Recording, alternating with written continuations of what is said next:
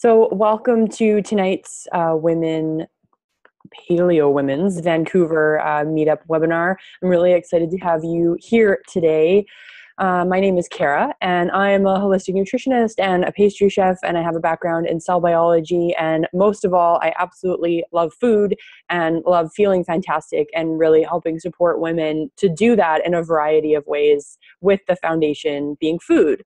So, today I wanted to just kind of dive right in. But first of all, just take any distractions that you have and put them aside. Close your other internet browsers. Just take the time to really focus and take this in. And we're going to be together for about 30 or 40 minutes. So it's a pretty short period of time. So just do yourself a service and take away any distractions if possible. And if you hear some weird background noises, that's probably my cats. I have two of them. Their names are Sam and Nina, and they're actually they're they're turning uh, five years old on Sunday, and they are being a little bit rambunctious right now. So they're siblings. What can you do? So just take a deep breath and kind of leave aside whatever was happening in your day so you can focus. And I just want to thank you for being here and for valuing your health because you being here is really what allows me to know that. And I'm really excited about this call because I find, you know, I, I, hear this all the time. It goes, oh, my husband went paleo, but I gained weight, or it wasn't working for me. And, you know, my partner, my boyfriend, they, they love paleo and I tried it, but I couldn't stick with it. Or I felt great at first. And then after, you know, three weeks, two months, six months, things started to go in the reverse direction of where I wanted them to go. And I find this very common with women and in the paleo world. And first of all, paleo is just, it's based on the Paleolithic way of eating, but my emphasis with it is eating real whole foods and abundance of veggies, moderate protein, and high, good quality fat or higher than you're currently eating most likely and I just that's a great kind of outline of paleo and what paleo avoids is grains and dairy and legumes. So essentially if you think pre-agriculture, it's focusing on those foods even though yes, I know that modern foods are nowhere close to what they used to be in the paleolithic era, but the intention of eating this way and what I found and how I find working with clients as well in my practice is that people when you're able to reduce inflammation which I, have gotten into previous calls i won't get into here but you really allow your body to rebalance and experience way more energy. And you know that brain fog goes away. You wake up with joy in the morning your mood is better and you do effortlessly release that weight that has been hanging on or you where you just don't feel comfortable and you don't feel like yourself. So I mean, a little bit, I guess, more about me is that I just I work with clients one on one. I teach a lot online, in person. I do a little bit of corporate teaching, and it's just my pleasure to be serving you today. So let's dive right in. So, if you've experienced paleo and you're kind of not sure, or you're just beginning, or you're getting into it, or maybe, like I said, you are one of those people that I was talking about before, of where you tried it and things went in the reverse direction of what you wanted. So, instead of weight loss and mental clarity and energy, you got a little bit of weight gain and you got more fatigued and you got brain fog and what's going on with that? And it's a couple really simple mistakes. Um, i shouldn't even call them mistakes. It's a couple really simple things that are different for women and men. So that's why i see these women who are you know frustrated with their husbands because they're getting sexier while they, they themselves are going in the reverse direction. And there's a few practices that are very common in the paleo world that are just not meant for women and they're not they, they're not good. And essentially at the basis of what's going on is it's messing up our hormones. And women we have the blessing and the curse of having a quite sensitive hormonal system which is it really influences pretty much everything in our body and how we're feeling including our appetite and our metabolism where we carry weight, what our mood is like, what our sleep quality is like, how stressed out we are, how we can handle stress. That's all hormonal. And when we send the wrong signals to our body, we can put those out of whack pretty quickly. And I have a history. I went I went through some health I don't know, I, I call it my health journey a few years ago where I essentially became allergic to food that was a diagnosis that I got. Fun fact. Um, but essentially, I just really needed to rebalance my body and use food as medicine and because of going through that journey um, now i mean i can eat what i choose to and i really am so blessed to have amazing health but my body at the same time is very responsive. So with experimenting some of the things i'm going to talk about personally i noticed my hormones going out of balance within two weeks. So a very short period of time. Depending on who you are and where you're starting you could notice a hormonal imbalance maybe two weeks is pretty fast, but we're talking the three to six months is usually when things start to go awry. So, what are the common practices in paleo where women actually should not practice them? The first one is something called intermittent fasting or IF and very common in bodybuilding and the CrossFit in the CrossFit realm. Um, paleo and CrossFit, for some reason, are, are very closely linked together. And intermittent fasting is essentially the practice of eating during a certain window during the day. So, the intention of it is that our digestive systems actually do a lot for our body, but it can't do those kind of deeper, it kind of deep cleans. Like our white blood cells actually are used in digestion. And when we're not digesting, then they are fighting foreign particles or they're actually deep cleaning our cardiovascular system. So those are things that don't happen when we're constantly digesting. So there's a lot of benefits and benefits weight loss, better sleep, mental clarity to intermittent fasting. And what that means is that you're eating during a certain window during the day. And in really, really simple terms, it essentially means you skip breakfast. So you're not eating in the morning and then you can, you know, eat from noon until 6 p.m. or some people do, you know, 11 until 7 p.m. Generally like a 8-ish, like 4 to 8 hour window where you're consuming food. And essentially what you're doing is after your last meal at night, you're not eating again um, until lunch or a little bit of a later lunch the following day. And what this does is it really messes up women's hormones because of how our bodies interpret what the environment is like. And uh, what we tell our bodies, or how we tell our bodies what our environment is like, is by what we eat. So if we don't eat, for the morning or for an extended period of time for essentially anywhere over 12 hours our body says that, oh, we're starving. So we need to hold on to all of the calories that we're going to consume later. And it sends a stress signal. So essentially, it's causing an elevation in cortisol, which is a stress hormone. And that does bad things for us in a pretty short period of time. And usually people notice fatigue, and then you get a second wind at night, which is really weird because right when you should be going to bed, all of a sudden you're awake. Uh, you find it almost impossible to wake up in the morning, and you again hit that wall around 2 or 3 p.m. You wake up at 3 a.m weird between kind of the 2:30 and 3:30 a.m. you wake up consistently every night those are all signs of high cortisol and adrenal stress and that's it's very simple because we're not taking in any food in the morning so our bodies are being told that we're in a state of famine and really our bodies are they, they are hardwired as if it was a hundred thousand years ago sorry 100000 years ago that's crazy that is so much time i can't even conceive how much that is so if it's 100,000 years ago, what our bodies are designed to do as women is reproduce. From an evolutionary perspective, we are meant to reproduce. That's our function. And when we don't eat and we don't take anything in and we're sending our body signals of scarcity, then our body starts to shut things down. And really, an amazing marker of a woman's health, regardless of your age, is your fertility. So I know a lot of, I work with a lot of women who are, are perimenopausal, just kind of before menopause, starting to notice some funny things going on or maybe even menopausal and they're noticing symptoms around just stress and fatigue and they don't feel like themselves and weight gain around the middle which they hate or they get a little bit more squishy was a recent client's terms. Um, and that's happening because of hormones and especially cortisol in our adrenal glands.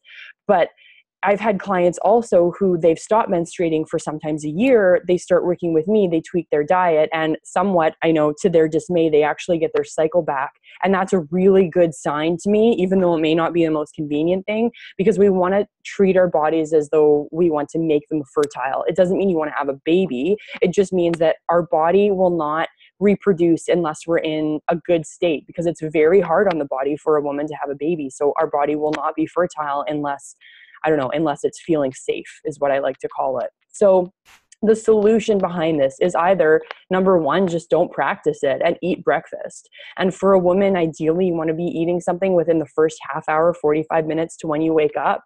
And that can be something as simple as one hard boiled egg. And then you can have something that's more significant later, but just get something in. High protein is really beneficial. You could do a scoop of a great quality protein powder first thing in the morning if you're not someone who likes to consume something right away. Another option, which I love, is to do some sort of a fat coffee. And yes, fat, as in like FAT coffee, a blended coffee. You may have heard of something called bulletproof coffee or caveman coffee. And again, this works great for men. So there's a really important tweak you need to make. And that is you can take any of those recipes, and I just encourage you to go Google them. Um, people will try sell you their products. Are they better? And do you need them to make these coffees? No, you don't. But you can just get the general recipe. And I'm happy to link some below this video as well when I upload the recording. So you can look that up. But what you must always have is either a tablespoon of collagen protein. So that's something that generally, depending on where you are, you can get it. If you're in Vancouver, um, you can get it at Home on the Range Organics on Commercial Drive, or you can get it online. And Vital Proteins is a really good uh, brand, which I recommend because it's from grass fed cows. And I know that's a lot of information in a very short little window. So I will link all of that information below. Don't worry. But you need to add that. So, what a fat coffee is is essentially you're having coffee that's blended with something like butter and MCT oil and collagen or a couple tablespoons of hemp hearts and you can blend those right in or you can actually just eat the two tablespoons of hemp hearts and that tells our body that things are safe. It gives us just enough nutrition and fat to not actually break a fast. So our body doesn't behave as though it's eaten, but it feels safe because we're giving it fat. Uh, and another thing that I highly encourage that you Google is something called a rocket fuel latte. And again, I'll, I'll link to that below, but that's a really good option if you want to have something that sends the right signals to your body, will encourage weight loss, and it keeps you really full and focused. And the things that I love about these blended coffees are that I love the taste. Um, I'm definitely a coffee drinker. I won't get into that, but there is a lot of amazing health benefits with single origin organic coffees. And then I love the ritual of it. And I really do enjoy the taste and the focus that it gives me as well. So I don't, I'm not a person who gets jittery or anything like that from coffee. But if you blend in fat and a little bit of protein into your coffee, you won't get jittery either if that's something that you experience. So, a lot of health benefits to doing that. So, that's another solution. If you want to kind of cheat the intermittent fasting, you can have some sort of a blended coffee or a fat coffee. So, essentially, intermittent fasting, you can either play with it, but you must include a fat coffee with extra protein and collagen, or you can just totally leave it alone and just eat a regular breakfast.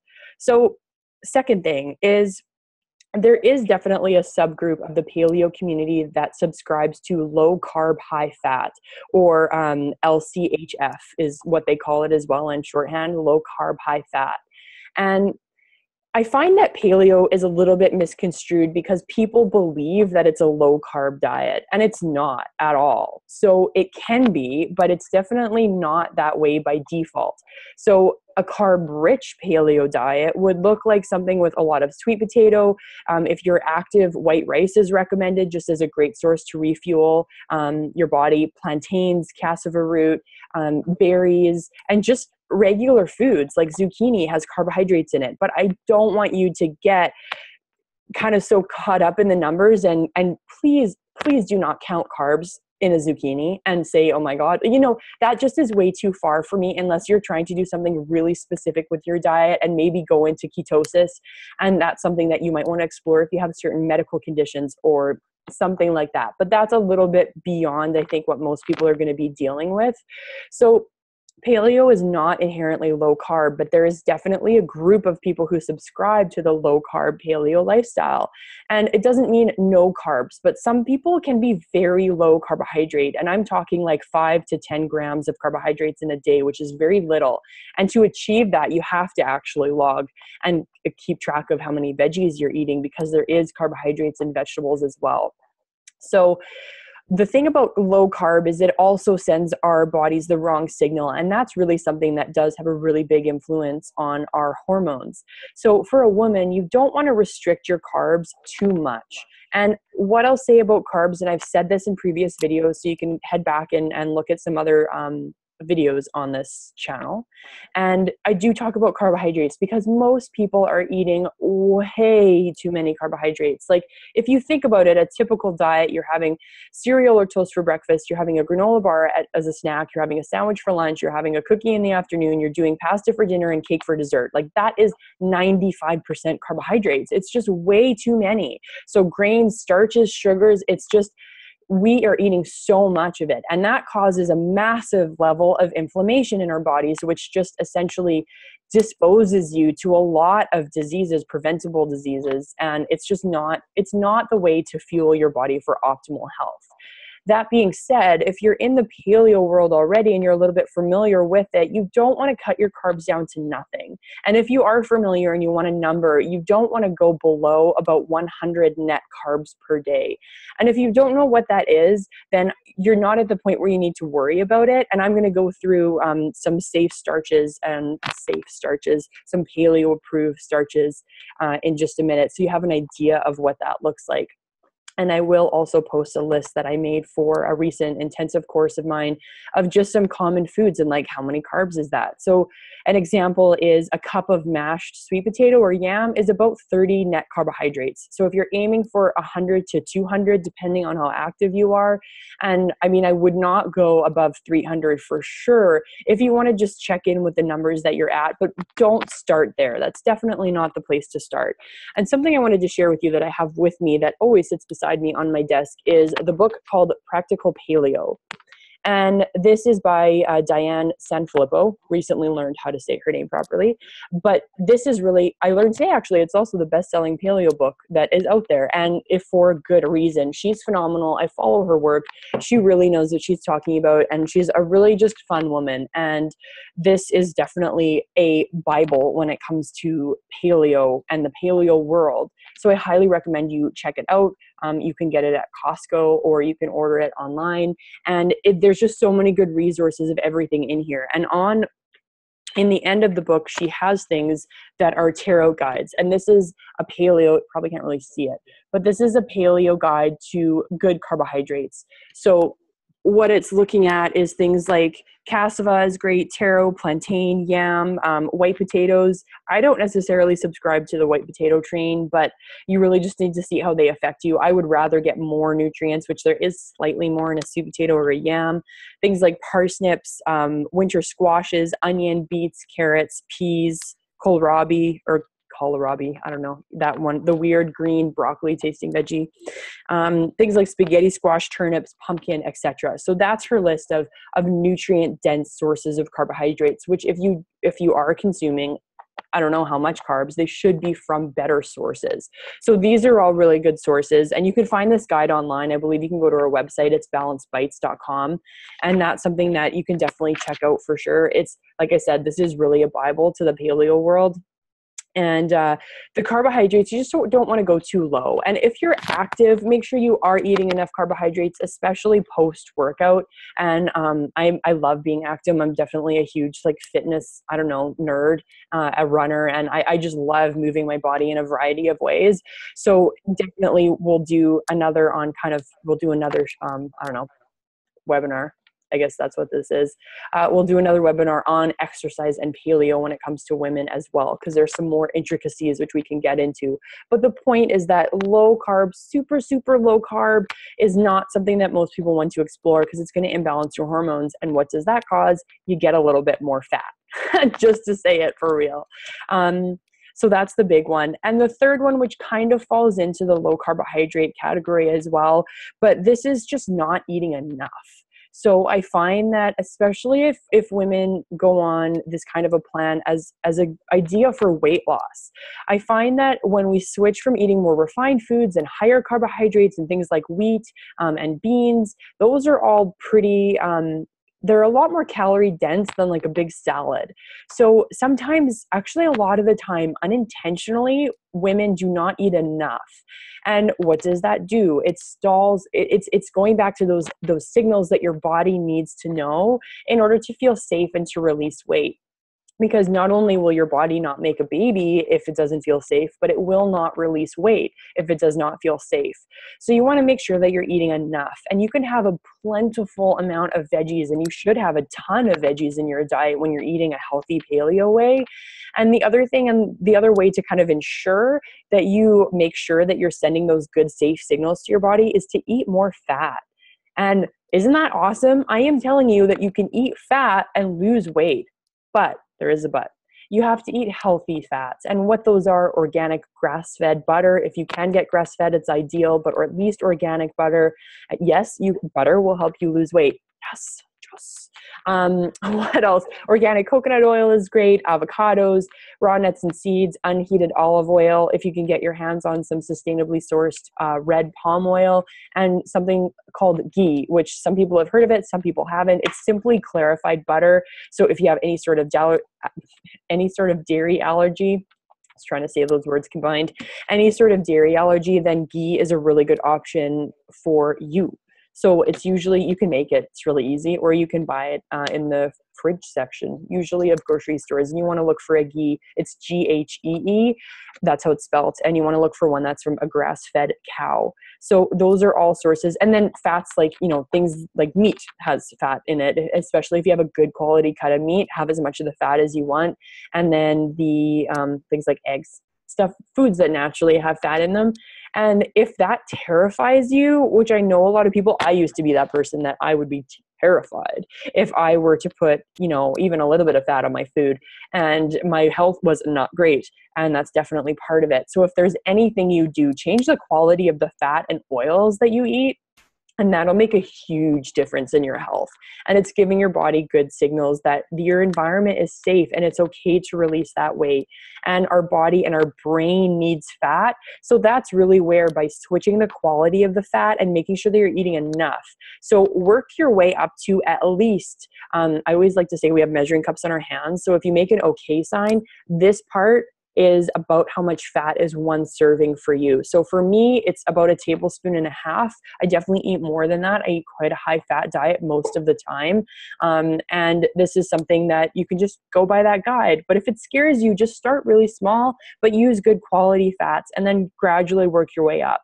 And the beautiful thing about fat is that it, it has a great feedback mechanism. So if you eat too much of it, you're going to get really nauseous. You're going to get something called disaster pants. Like your body will let you know right away if you're eating too much fat. So that's definitely not a concern because you have a really good feedback system. So just start small and gradually work your way up.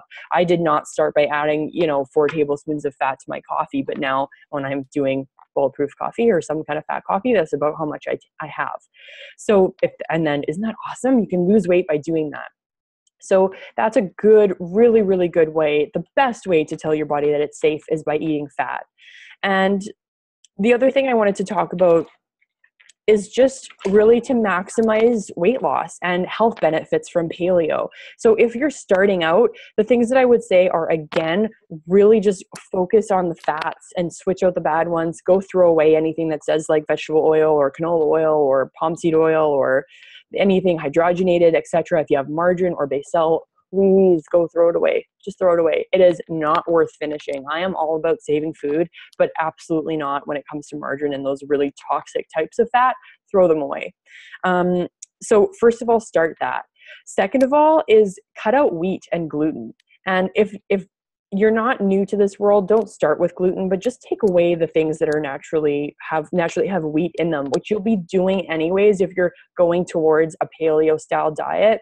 But just take away that stuff and don't try swap it. Like i really find that a lot of people run themselves into trouble trouble when they just have regular bread and then they decide to switch to gluten-free bread and then they have regular pasta and they switch to gluten-free pasta because most of that stuff is nutritionally crap to be honest. It is. None of it is healthy for you. Well, I shouldn't say none. There's a couple that are okay. But really, just focus on the whole foods that naturally don't have wheat or gluten in them, like a sweet potato and white rice and buckwheat and wild rice and carrots and beets and peas. And there's so many things out there, spaghetti squash.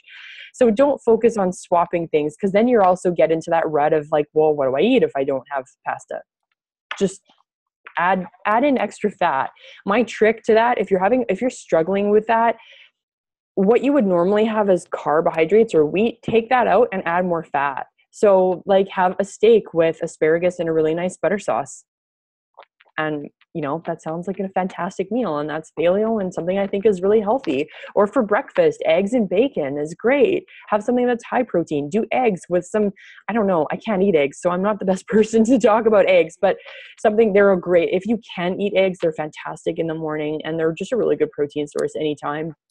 So have like an omelet for breakfast or something like that. And if that feels indulgent, good, because healthy food should be tasty and quick and easy and delicious. And you should feel like it's indulgent. And that can, you can easily lose weight and just feel so much better and change your body composition and I, I don't know. I just I love this because I get to see people. I'm so blessed to do what I do because I get to see people make these transformations all the time. They get to eat really good food that they thought was bad and caused weight gain. And it doesn't. It actually just sends the right signals to your body and then you end up losing weight, which is amazing. And just feeling better. And weight, please don't don't focus on the scale so much. I wasn't planning on talking about this, but take your measurements and just Google how to take your measurements and they'll show you the areas that you should take.